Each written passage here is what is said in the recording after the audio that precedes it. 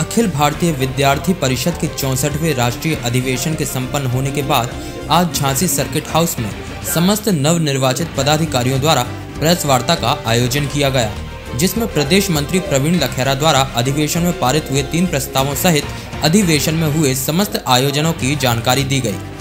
आज आपने प्रेस वार्ता रखी है इसका क्या होता आ, प्रवीण लखेरा नाम है, प्रदेश मंत्री का दायित्व विद्यार्थी परिषद में। आज अखिल भारतीय विद्यार्थी परिषद झांसी महानगर के द्वारा पूरे प्रदेश में एक साथ सभी केंद्रों पर प्रेस वार्ता का आयोजन किया गया।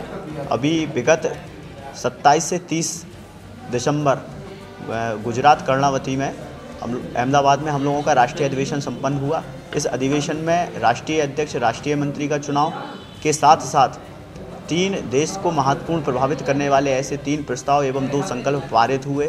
इससे मैं ही इसी राष्ट्रीय अधिवेशन में हम लोगों के प्रांत का प्रांत अधिवेशन संपन्न हुआ, जिसमें प्रांत मंत्री के द्वारा मंत्री प्रतिवेदन और प्रांत की पूरी कार्यकारिणी का गठन किया गया। इस सब की निमित्त की जानकारी देने के लिए आज हम लोगों ने एक प्रेस वार्ता का आयोजन किया। इस अवसर पर प्रेस वार्ता में प्रदेश मंत्री प्रवीण लखेरा व महानगर मंत्री वेद श्रीवास्तव सहित अन्य पदाधिकारी उपस्थित रहे। पवनदीप सिंह की रिपोर्ट बुंदेलखंड टुडे झांसी।